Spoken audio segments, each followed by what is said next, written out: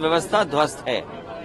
चाहे वो आपके जिला अस्पताल हो पीएससी सीएससी हो, या मेडिकल कॉलेज हो, ये सरकार जानबूझ करके सरकारी व्यवस्थाओं को इसलिए खत्म कर रही है जिससे कि लोग ज़्यादा से ज़्यादा प्राइवेट में इलाज कराएँ प्राइवेट नर्सिंग होम में जाएँ प्राइवेट हॉस्पिटल में जाएँ।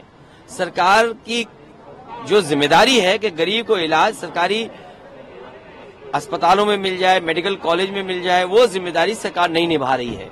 और कई जगह से ये सूचनाएँ आई हैं कि सरकार सीधे सीधे मदद करना चाहती है प्राइवेट इंस्टीट्यूशंस की। और सच्चाई ये भी है कि जो सरकार दावा ये कर रही थी कि मेडिकल कॉलेज बनाएँगे, सुना, सुनने में आ रहा है कि मेडिकल कॉलेजेस को भी प्राइवेट हाथों में बेचने की तैयारी है। जो सरकार प्राइवेट मेडिकल कॉलेजों को प्राइवेट में बेच रही हो सरकारी मेडिकल कॉलेज को बड़ा इंफ्रास्ट्रक्चर प्राइवेट में बेच रहे हो।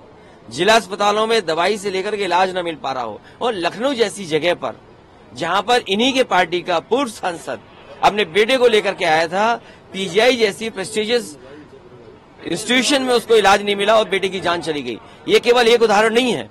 हर अस्पताल में इनकी सरकार में दलाल बैठे हुए हैं, जो प्राइवेट इंस्टीट्यूशन में मरीजों को ले जाते हैं। और आपको भी जानकारी इस बात की होगी कि कहीं भी इमरजेंसी में एडमिट नहीं मिल रहा है एडमिशन नहीं मिल रहा है।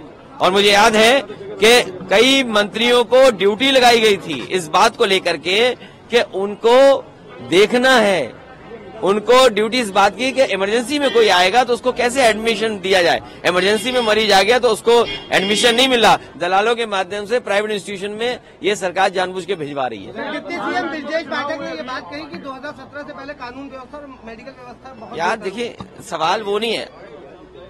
सरकार से समाजवादी सरकार नहीं है। सरकार से हम बाहर हैं। आज तो ज़िम्मेदारी इनकी है। इनके पूर्व सांसद का बेटा मर गया। इन्हें दुख नहीं। कई लोग एंबुलेंस में मर गए, इनको दुख नहीं है। कई डिलीवरीज हो गई, चाहे वो दरवाजे पे हो गई हो और याद कीजिए, आप सब लोग मौजूद थे इसी गवर्नर हाउस में, जहाँ एक महिला गवर्नर है। क्या एक प्रेग्नेंट लेडी को एंबुलेंस नहीं मिली? क्या बेटी का जन्म नहीं हुआ वहाँ? मंत्री को मजबूरी में भाग करके जाना पड़ा। ये कौन आँखें बंद कर लेगा?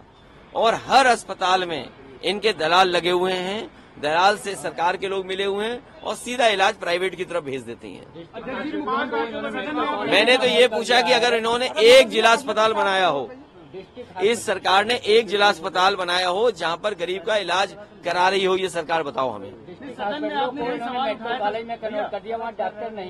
देखिए, डॉक्टर नहीं है असिस्टेंट प्रोफेसर नहीं है एडिशनल प्रोफेसर नहीं है नर्सिंग स्टाफ नहीं है टेक्निकल स्टाफ नहीं है। आखिरकार ये इंस्टीट्यूशन क्यों बनाई हैं आपने?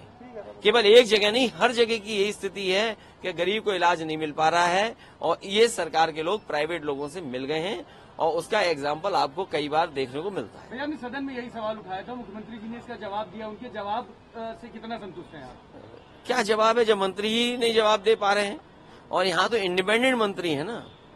उन्हें मुख्यमंत्री से लेना देना नहीं है मुख्यमंत्री को डिप्टी सीएम से लेना देना नहीं है। यहाँ तो इंडिपेंडेंट मंत्री हैं। तो इंडिपेंडेंट मंत्री होने का मतलब यह है कि हम तो मंत्री से ही पूछेंगे। सर जवाब देते थे लोग पर्सनलाइज हो जाते हैं इसको कैसे देखते हैं? हम और आप सब लोग यहाँ इंस्टीट्यूशन मज़बूत हो डेमोक्रेसी मज़बूत हो जनता के सवालों का जवाब मिले हम उसके लिए जिम्मेदार हैं। लेकिन क्योंकि वो काम नहीं कर रहे हैं इसलिए उन्हें गुस्सा आता होगा। अखिलेश जी भी पाँच राज्यों में चुनाव हुए कांग्रेस वो बात की बात है पहले